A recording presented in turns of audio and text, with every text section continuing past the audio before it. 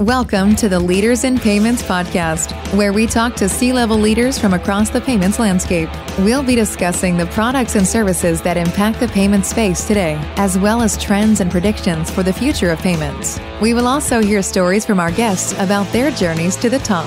Hi, everyone. This is the host, Greg Myers of the Leaders in Payments podcast. And on today's show, we have Kathleen Pierce Gilmore, or better known as KPG. She is the head of payments at Silicon Valley Bank.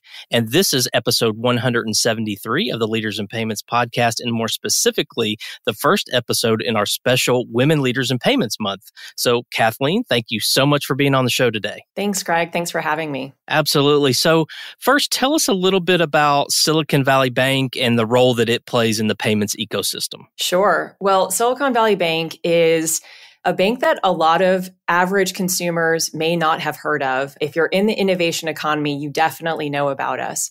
We are the bank of innovation. So we bank private equity firms, venture capital firms, accelerators and incubators, as well as the many companies in the innovation economy from fintechs, life sciences, you name it, they are our customers. And so one of our big segment of innovating customers is fintechs and software platforms. And not only do we serve these clients as their commercial bank, right? So we give them a checking account, an operating account. We also are the bank that they go to when they need a bank to provide infrastructure or access to a bank license for embedded payments. So we serve them as a commercial bank also as a private bank for founders and management team members who need mortgages and the like. We have an investment bank. So as our clients are going through their journey, we're able to support them in their investment banking needs, whether it's fundraising, doing an acquisition, being acquired, doing an IPO. And then, of course, SVB Capital, which has a significant fund of funds, over $7 billion in assets under management, where we actually invest in companies that we gain exposure to through being in the innovation economy. So we have multiple ways that we support our clients. And in the payment space, as I was saying before, we are their commercial bank. So we'll provide them a commercial card, access to merchant services, and the ability to move money in the context of cash management solutions.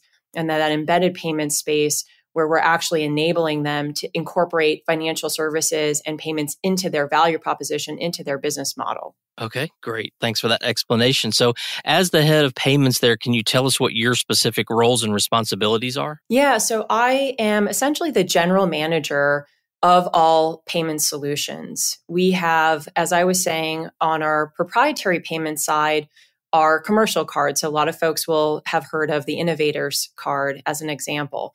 And this is your typical commercial card for any company that's trying to manage expenses, all the way from a very small startup that might just be a handful of founders to clients that are post IPO success stories, very large corp fin clients, and also our global funds banking clients. So, commercial card, merchant services, cash management, really anything that involves the movement of money that a bank would typically offer.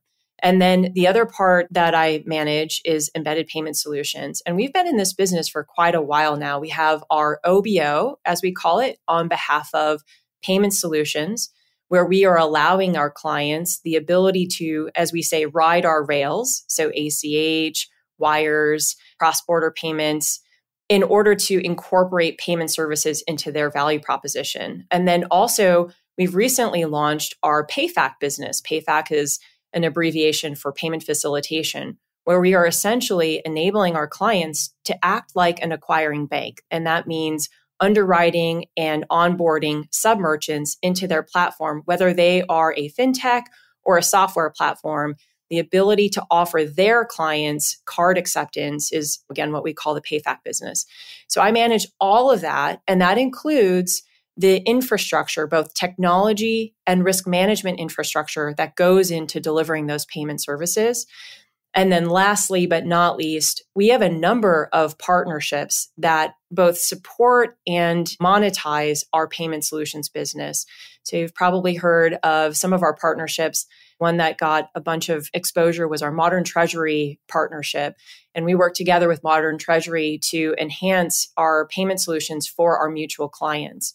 So all of that is part of my team. And then, of course, I work very closely with partners across SVB, including our technology and operations and second line risk teams, and you know a lot more beyond that. It's a very broad and deep role you have there. Yeah, it's a lot of fun. Awesome. Awesome. Well, let's rewind a little bit and let's talk about your background. So, where did you grow up and what was your life like when you were growing up? It's a good question. And it actually is a big driver of why I ended up in financial services. So, the way I would summarize it is very unstable. I was born in Las Vegas, Nevada. I lived there until I was about nine when my parents got divorced and then moved to Southern California with my mom and future stepdad.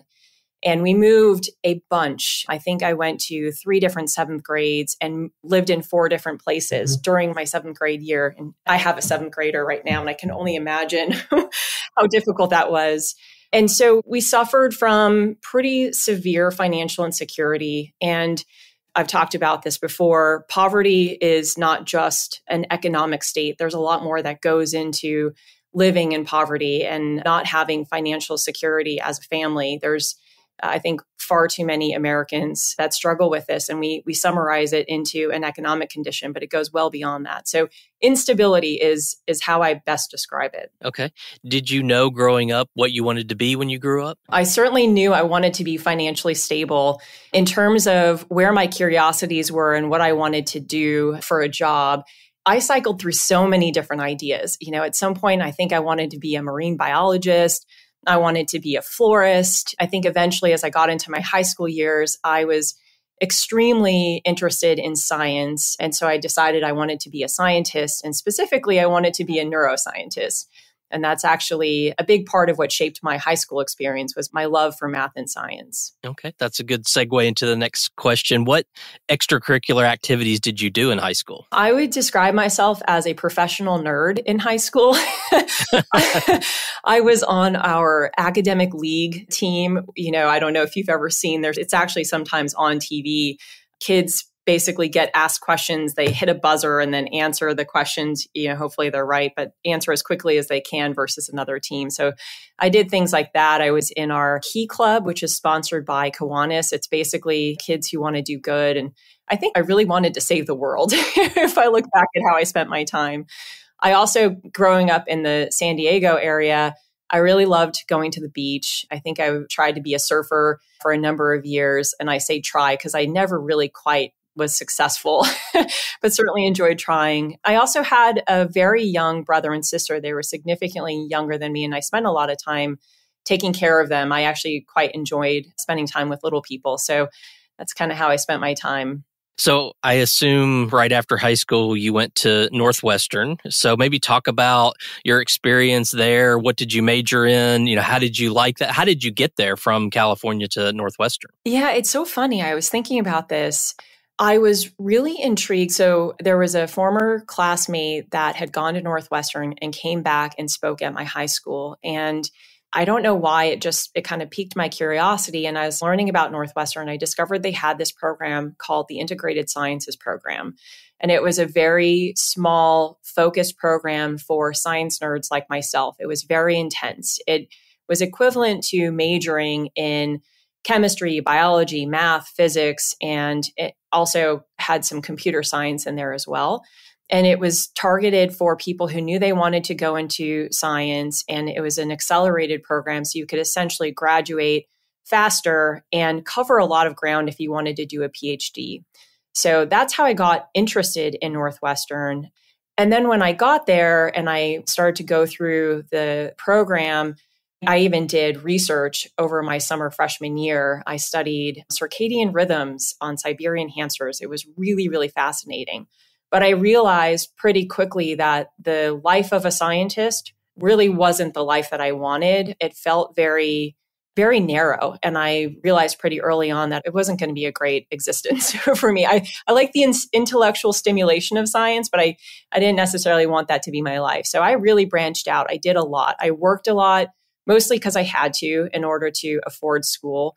But I also just loved all of the experiences I was getting. I was in the undergraduate leadership program, which was just an incredible experience. I covered a lot of leadership principles to this day that I still ho- hold near and dear to my heart. So overall, I'd say it was pretty intense. I got really sick in my senior year. I had strep throat and mono, of all things, multiple times, and I almost didn't graduate. I was doing really well up until that last quarter. I think it was the second quarter of quantum mechanics that really did me in. So it was intense, and I feel like I crawled over the finish line. But I just, I look back and it was life changing for me to go to Northwestern, and I just saw so much more of what was possible for myself and in the world. So I'd say I'm pretty grateful for that experience. So, did you change your major did you stay in the sciences? I stayed in the sciences. And what I discovered is the analytical thinking that you have to do when you're, whether you're solving an equation in quantum mechanics or you're planning out a set of reactions in organic chemistry the analytical mindset applies to pretty much any problem solving. So when I went through the recruiting process in my senior year, I discovered in a lot of the companies that were recruiting on the campus a strong interest in that analytical mindset. I now understand it certainly in business myself. And so I didn't change my major. The integrated sciences program, once you get in, it's really hard to want to do anything else. So I finished it, I saw it through but decided to do something very different when I graduated. Okay. So you crawled across the finish line, you got your diploma. What was your first job? What did you do right after college? I went into consulting, and there were a lot of consulting firms that recruited at Northwestern. And I got to tell you, I did not really know what that meant. but I knew that it was a decent financial offer. And like I said before, I was very focused on financial stability. I was trying to specifically live in Boston. Uh, my significant other at the time was going to be in Boston. And so I ended up working for, it started off as Ernst & Young and eventually was acquired by Capgemini. So it became Capgemini Ernst & Young. So I went into consulting. And what I'll tell you is I had no idea what I was getting into. I even after a few years of being in consulting, I couldn't describe it to my mom in less than 30 minutes. I tried explaining to her, I solve problems. I build Excel spreadsheets. I make slides. And she just like she couldn't understand what I was talking about. But I got so much experience and just got thrown into crazy situations. I remember working directly for a CFO of a cable company to build a valuation model for getting into the telephony business. And I'm very much dating myself now. It was the the very early onset of voice over IP technology. So I worked on a bunch of things that I never would have thought of. I certainly didn't seek them out, but it stretched me in a lot of different ways. Okay, so we're at your first job out of college and you're consulting now as the head of payments at Silicon Valley Bank. So tell us how you got to to Silicon Valley Bank from the consulting company. Yeah. So at some point, I started to get very tired of the travel. And I also was craving that sense of connection you get from from results. You know, in consulting, you go from project to project and if you're lucky, you might stay with a client for a couple of years, but you never get to be a part of the follow through. And so I was craving having something I was connected to and could point to as the thing that I did in addition to wanting to settle down and not be traveling as much. And so it's funny. I think back to how I thought of American Express, and I literally just thought, I love American Express. I had a corporate card from my consulting days, I got my own personal card. I really believed in the model of the charge card. You know, you pay it every month. And for the way I grew up, my parents really struggled with credit card debt. It started off as a means of survival. And it very much became this vicious cycle that we were stuck in my entire upbringing. So I was very anti credit card. And I always liked this notion that Amex's charge card, you paid off every month. And so I had this affinity for Amex as a customer. And I was sharing with a girlfriend my admiration for the company. I'd read something that Ken Chenault was quoted in. And she connected me to a former classmate of hers that was in the strategic planning group at American Express, which is their internal consulting team. And I got to tell you, I just feel like I won the lottery being connected at the right time into that group. They happened to be looking at hiring some experienced undergrads. And I got the job. And I wasn't completely conscious of what was driving me to go to work for American Express. I just remember thinking, it's a cool brand. I like the product, I like the company. And it was after I left Amex that I realized what was driving me was that that fierce desire for financial stability and financial discipline, financial responsibility. And so I loved Amex. I, I thought I was going to retire from Amex, but I got recruited away by Capital One. And a big driver in that decision was we were living in Jersey City when I was working for American Express, and we had three small children at the time. And as much as we loved living there, it was not easy and when I was getting recruited by Capital One, I got to see what it would be like to live in the DC area. And we just fell in love. And so, for family reasons, and it also felt like a really exciting opportunity to grow and develop and take on a bigger role, we made the move and I went to Capital One. And I always say that I learned so much in the very first day that I went to Capital One. The contrast of the American Express business model and the Capital One business model just really brought to light for me how I thought about serving customers in financial services and the contrast of serving affluent customers and subprime customers. And certainly I related to the subprime customers more. I just started to have a lot more realization of my own values and my own drivers. And so I spent the four years that I was at Capital One growing as a human. I also was feeling for the first time in my entire life that being a woman might actually be a detractor in my environment. I always felt like I had an edge by being a woman. A woman in science is pretty rare at the time that I was going through my science program. And at American Express, I felt very included for being a woman, having my ba- I had my babies while I was at Amex and at Capital One, they hadn't quite made enough progress on their journey of increasing diversity and inclusion. So I also had to develop a confidence that is required when you're when you're not the norm and your differences are not necessarily recognized and celebrated. So over the 4 years that I was at Capital One, I would say I came into my own as a leader and as a change agent. I started off by losing my confidence and feeling a little lost and then I realized that all of that upbringing and that experience I had struggling in my life was actually my value proposition at Capital One. I could relate to our customers in a way that a lot of the other executives couldn't. And I started to create a voice for myself and make that a platform. It was not easy. It was, you know, I felt like the odd person out very frequently, but I grew so much. And when I decided to leave Capital One, I really wanted to basically stop thinking about KPG and my career and getting promoted and making money and wanted to maximize my impact. And once again, just the stars aligned for me, and I got the opportunity to go to PayPal. And this is right when PayPal was spinning off of eBay. And Dan Schulman came in as the CEO to take the company through that next chapter. And he was very focused on this mission around creating greater access to the global economy for the underserved. And up to that point, I thought PayPal was a way to send friends money via email addresses. and uh, certainly had thought about PayPal as a threat or a competitor when I was at American Express. And we were trying to figure out the impact it was going to have on our online business. And here it just it hit me. It's technology that is going to change financial services.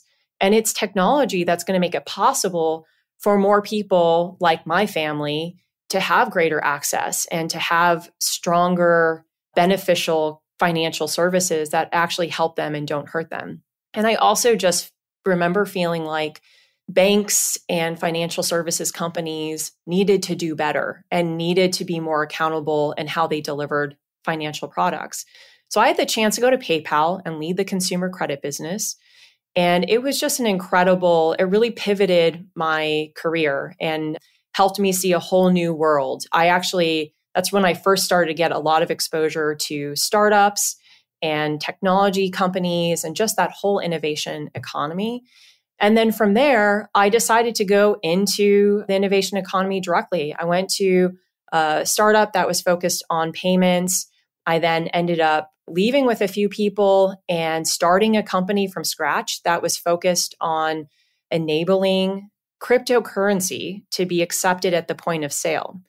And what excited me about this was it is a breakthrough technology. Digital currency just makes a ton of sense. I feel like it's so obvious. I, I almost still can't believe that there was ever a question that cryptocurrency or digital currency, as I preferred to call it at the time, just makes sense with all of the operational inefficiency and fraud and terrible customer experience that exists in payments, both for consumers and for merchants it just makes a ton of sense to have this transformational way of moving money. And so I, I launched into that. I will say that the startup world is a very different experience from working at a regulated institution. There's a lot of variety in what you experience.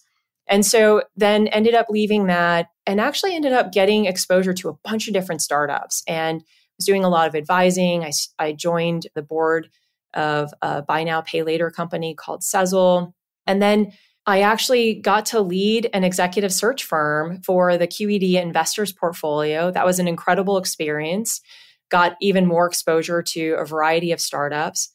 And then during the onset of COVID, left the search firm and was catching my breath, frankly. I had five kids at home all of a sudden. And in the very beginning, we had no school, there wasn't even virtual learning. So I had to dive right into being a full time mom. and as I was going through that experience, I got reconnected to a colleague at Silicon Valley Bank. And I had spoken to SVB about a year and a half prior but I couldn't relocate. My crazy family setup just was going to be impossible to move across the country. But because of COVID, Silicon Valley Bank changed how they were thinking about location and it opened up an opportunity. And what I'll tell you, Greg, is I really had no idea how cool of a job I was coming into.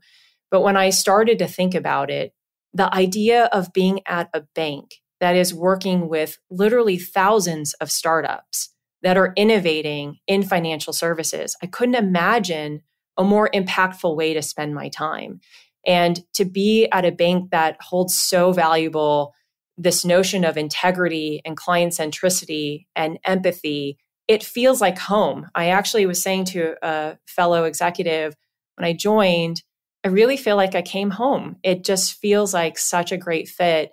And I get to be in a high integrity environment, but I also get to spend time with innovation companies. Like I was sharing with you earlier, I work with clients like Aurum and inspiring leaders like Stephanie Kirkpatrick or the CEO of Tala, Shivani Siroya. Like that's actually part of my job. I get paid to work with these incredible companies. So that's how I landed here. It's a long-winded way of saying it was a never a straight line for me and I don't expect my future to be a straight line either.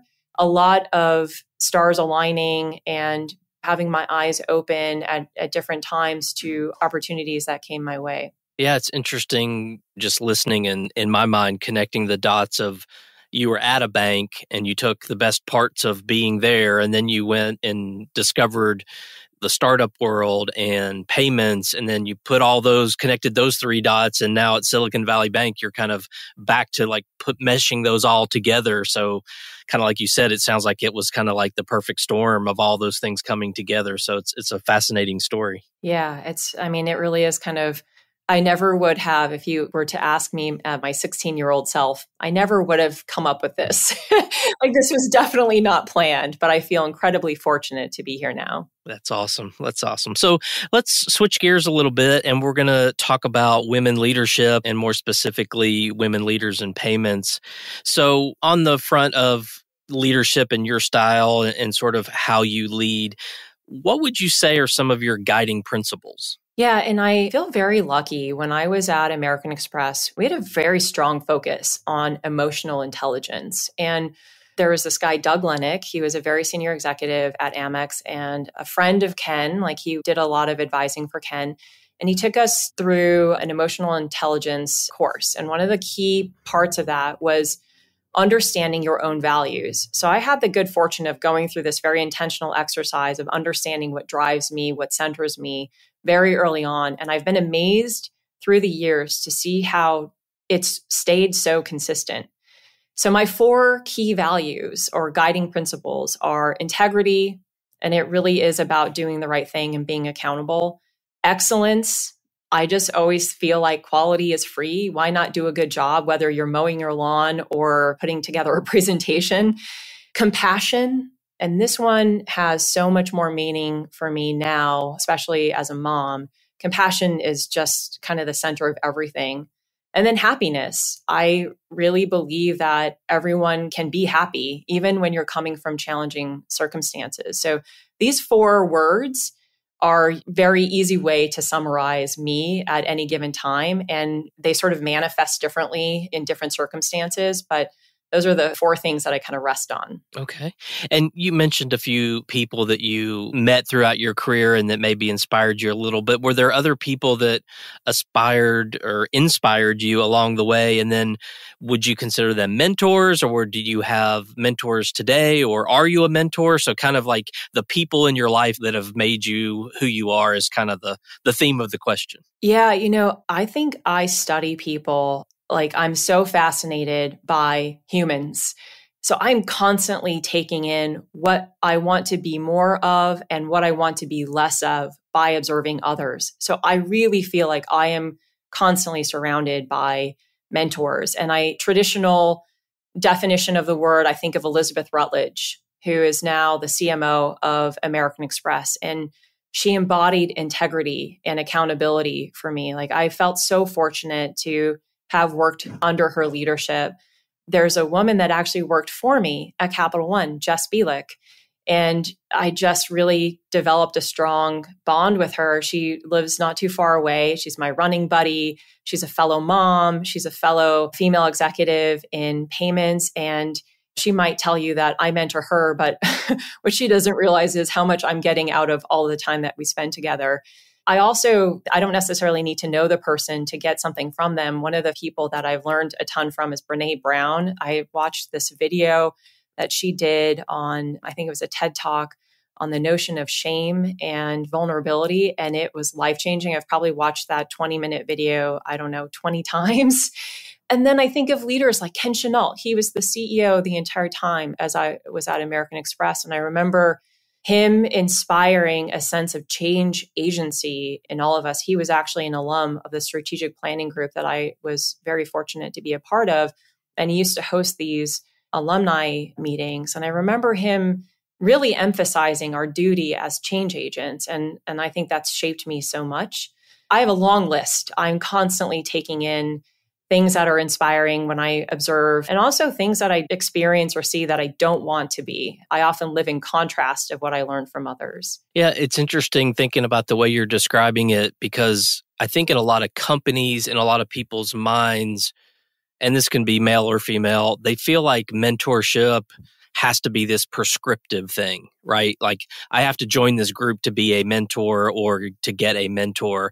And I think sort of what you've just talked about is you don't have to do that. Like you can learn so much from people that you don't even know. I mean, I think that's a that's something that all of us should try to do more of and be better at and not rely on some program that you have to go through through your job or some some group you have to join to be a mentor. I mean, you can be a mentor and get mentored in a lot of other ways. Yeah, I completely agree. I often joke that some of my greatest learning has come from my kids. I read the book, How to Talk So That Your Kids Will Listen and How to Listen So That Your Kids Will Talk, or something like that. I remember reading that when my oldest was just a couple of years old. And what I will tell you is it was actually changing how I was operating at work more than anything. so, I, whether it's in the workplace or in your home life, I think mentorship is everywhere. Yeah, I agree. I agree. Well, what is one characteristic that you believe every woman leader should possess? You know, I was really thinking about this question, and it's so hard to say one thing, but I really feel like compassion is at the core of everything. What compassion means to me is a level of acceptance and acceptance of where you are at any given time. And I emphasize self compassion, especially. And part of why I think it's so important is if you're willing to forgive yourself and have compassion for where you are at any given moment, it means that you're open to not being perfect. And that is the beginning of a growth mindset and the beginning of growth and development and the ability to learn and take in more. if you're not in a state of self compassion and compassion for others, it can come off as judgmental or static or closed off. And it's really hard. I mean, sometimes I think it's easier to have compassion for others than it is to have compassion for yourself. But I don't think you can fully have compassion for others unless you have that compassion for yourself. I also think grit is incredibly important. Curiosity and the ability to just kind of follow a problem solving process with a sense of eagerness and curiosity. I think that's actually where grit comes from. But if you don't have compassion for yourself, you're closing yourself off from what's possible. Yeah, that's uh I think all of those things are spot on and, many of them I think are true for both male and female leaders, right? So you mentioned this word grow and I think there's a challenge in people who reach a certain level. How do you continue to grow? What do you do to ensure that you're growing and developing as a leader? I mean, you may be over X number of people and and the time begins to it's harder to find time to spend on yourself. But what do you specifically do to help you grow as a leader? I am constantly trying to slow down. I by definition I am impatient and I have a high sense of urgency and I move fast and I I'm ambitious and I have high standards. And all of that might be great, but I try to force myself to slow down and reflect. So I reflect a lot. I really look for patterns, both in my own behaviors and experiences and relationships. And I also try to observe other people's patterns and then learn from that. I would say I'm a bit of a self help guru. My kids make fun of me every time something happens, I turn it into a motivational speech. but I just, I genuinely believe you can do better and you can change your life. I mean, I, I think part of the, what I got from my upbringing was an absolute determination to do better and to be what I wanted to be, to sort of declare a goal and go after it. But in order to do that, you have to be able to reflect and do something different than what your tendencies lead you to. I also really value feedback, and feedback is such an interesting thing. It's so hard to give, it's so hard to receive, and it is the number one ingredient to understanding what you need to do differently. And the ability to maintain a sense of self awareness, I just think comes from feedback. And the other thing I've learned far too many times, actually, is that the best and most useful feedback is usually the hardest feedback to receive and to embrace. But if you can have the courage to take it in, it can be life changing. Yeah, I would agree. So let's talk a little bit about, let's say, women coming out of college. Maybe they're in their first, second job. Maybe they're 10 years in mid level management what advice would you give them so they want to be a leader, they want to move up in the company, they want to do more, they want to be successful, they have that motivation? What would you tell them they should do, sort of that next generation of female leaders? And it doesn't have to be payment specific, right? But what would you tell them they should do to be successful? Yeah, I would say don't focus on being successful, actually. If I could go back in time and give advice to my 22 year old self, I would say stop trying to prove to the world how great you are and just learn. Focus on solving problems and start by understanding those problems and figuring out what is exciting to you and what you're passionate about, what you care about and focus on those problems and don't ever feel like you've solved it. Don't ever let yourself feel like you've gotten the final answer because there really is no such thing in life. There is no answer at the end of the book. if I think about the times where I had the most growth and development myself as a leader, it's when I was so enthralled with a particular problem, and I mean business problem really, that I lost my focus of caring about my career trajectory or my next promotion or my next review when I was so entrenched in solving a problem, especially when it involved a team. That's when I learned the most. That's when I grew the most. And that is also when I was the most successful at the different points in my career. And at the times where I was focused on getting promoted or quote unquote being successful or getting recognition for my accomplishments, that's actually when I wasn't growing. That is when I was the least effective, both individually and as a leader. And I constantly remind myself of this and try to influence my own team. Like, focus on the problems that you're solving, focus on the impact that you want to have, and success will follow. Okay. And let's kind of talk about, and I'll bring it into the payments industry. How do you think we're doing in this industry as far as having female leaders, whether that's CEOs, C level executives, sort of upper management? How do you think we're doing there? And then what else could we be doing better or different? Yeah, you know, I think we have a long ways to go. And I know we're talking about women in payments, but I would say this applies to any kind of diversity. When I look at places where we're having great success, the thing I observe over and over again is it starts at the top. it starts with the board, the CEO, the founding team, the senior management, the partners from the investment firms that are backing the company. It starts at the top. And if you don't have a strong focus on diversity from the beginning, from the top, it's really hard to correct that over time. So I look at companies like Tala. I think I mentioned this already. Shivani Siroya is the founder and CEO of Tala. She's just incredible. And if you look at her team, she has built what I think is the most diverse team I've ever seen. but it starts with her and it cascades out. I look at Stephanie Kirkpatrick, the CEO of Aurum, who has had a very strong focus on diversity as she's built her team and her board. And again, it cascades down. Then you look at companies that don't necessarily have a starting point of diversity, even if they care about it and they're trying to like increase diversity. It's really hard if you don't have that from the beginning, whether you're a large bank or a small startup starting at the top, I think is where it begins. And so I think we have a long ways to go. I, again, have the good fortune of working with a whole bunch of different companies, small, medium, large, and their investment firms that serve them.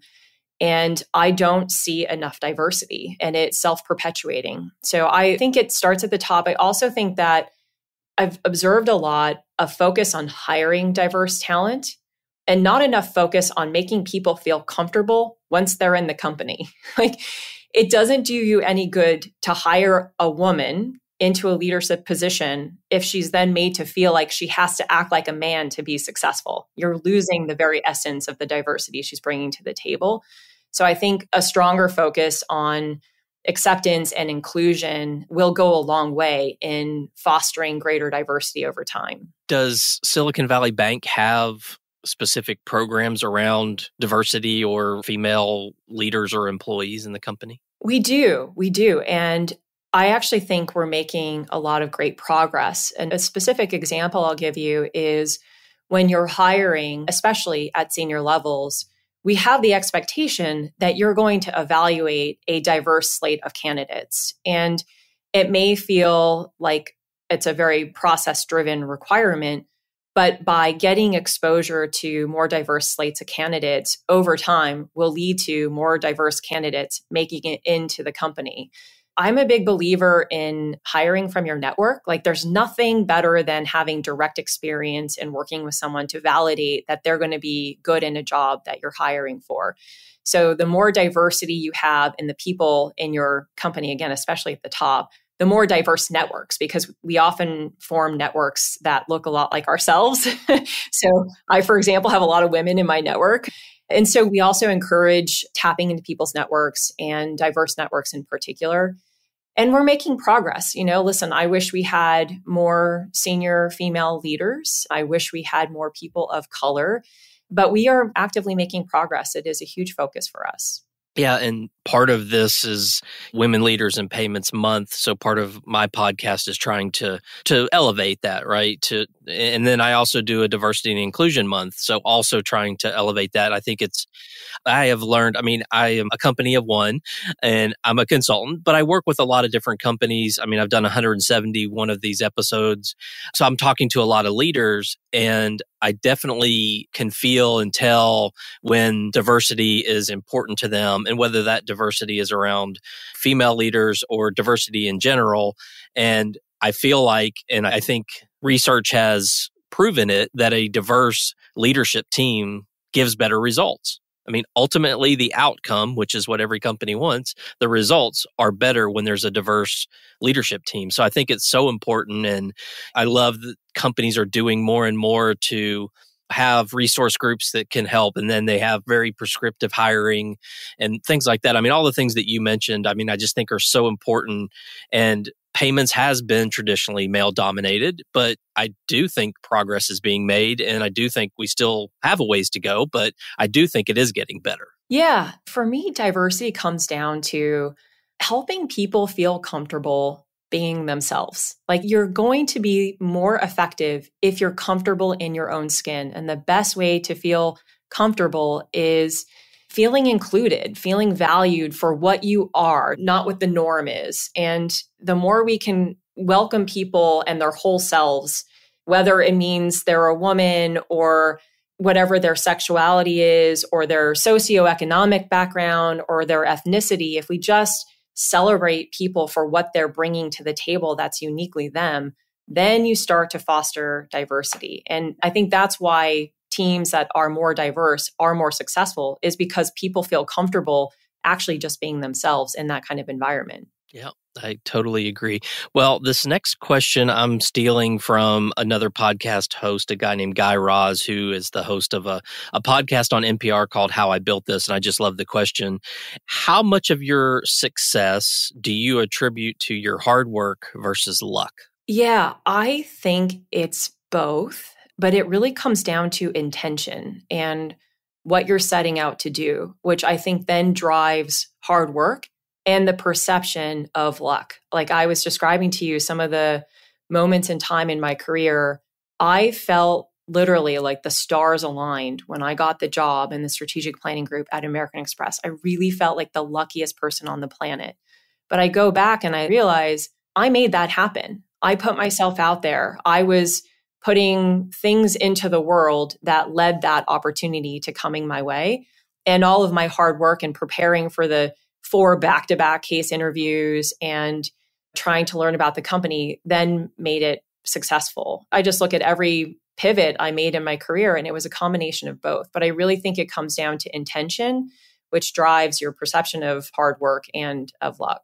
Yeah, I've heard people answer and I think it summarizes what you said. The harder you work, the luckier you get. Yeah. And there's, I don't know if you, like, there's the law of attraction or positive thinking and my kids joke about manifesting things or willing things to happen. But I kind of think it's true. Like I if you have a vision of something, you're moving in that direction. If you're really setting out to make that vision happen and it leads to you working on it. It leads to hard work. It leads to the feeling of luck and the feeling of things happening for a reason, but it wouldn't have happened if you weren't looking for it, if you weren't putting yourself out there. Absolutely. Well, Kathleen, we've covered a lot of ground today from your career, your views on women leadership in our industry. It's been fascinating conversation. Is there anything else you'd like to discuss before we wrap up? No, I want to say thank you, Greg. I love what you're doing. I've listened to a bunch of the episodes of your podcast. I've learned a ton in listening and really felt inspired from each of them. And I just think payments